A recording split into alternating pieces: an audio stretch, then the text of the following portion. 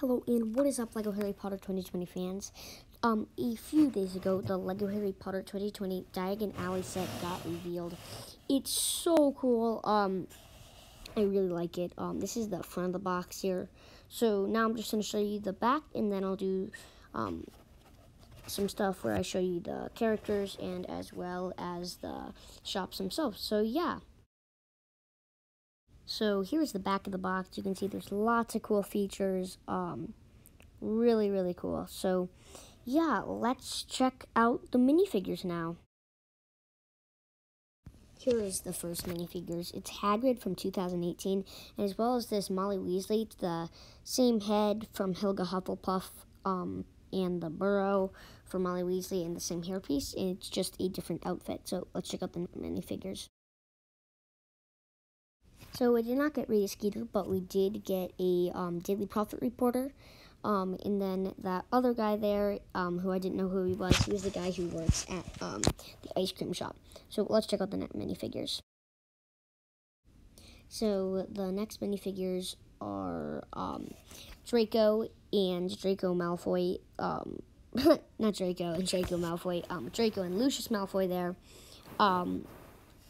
Um, next, I'm going to show you a picture of Lucius and, um, the, what's his name? Gilderoy Lockhart. Then I'll show you the other characters. So let's check out that right now.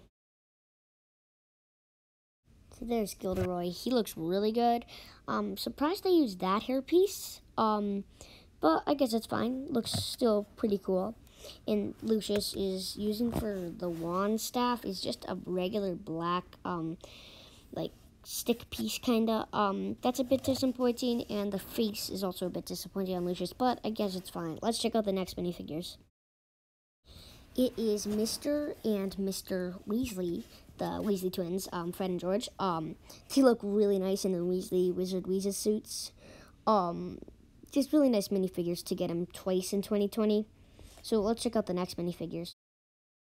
Here are the next minifigures. Um, you can see there's Ron, Hermione, and then Ginny is the one I'm really focusing on here. Um, to get two, three Ginnies is great as well. Um, so yeah, Ron and Hermione look pretty good too. So then there's also Harry, um, which I'll show you later. I just couldn't find a picture of him in the character thing. So yeah, let's check out the shops now. So the next shop is the front of Flourish and Blotts here. Um, looks really nice. I love all that detailing. So let's check out the inside of Flourish and Blotts now. Here's the inside. You can see there's Gilderoy and there's the Harry minifigure. I like how they made those books up there. Um, just pretty cool. And then I like the balcony up above. Um, really cool. Let's check out the next shop. One of my favorites. So here it is. It's Quality Quidditch Supplies. At the bottom, there is a Hufflepuff Quidditch robe. I really wanted, I really want to make a um, Cedric Diggory Quidditch player.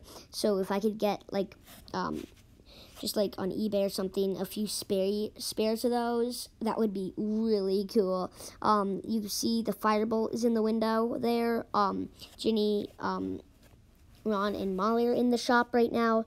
And also there is a Ravenclaw one, which is also going to be pretty um, popular, I think. So let's check out the next shop. It is Weasley Wizard Wheezes. Oh my, it looks so good. Um, just all that detailing and stuff is just really cool. All the jokes, um, they did Lego did a great job. I really like the stairs. Um, let's take a better look at the bottom floor now. So here's a quick look at the bottom floor. It looks really nice. You can see those love potions and stuff. So let's check out, um, not the final shop. I just couldn't find a picture of Ollivander's, but let's check out the ice cream shop now. Actually did find an image of Ollivander, so I'm going to show you it after this, and also the other shop, um, the Ink and Quill shop. So the ice cream shop is pretty small. You can see Flourish and Blotts is over there as well.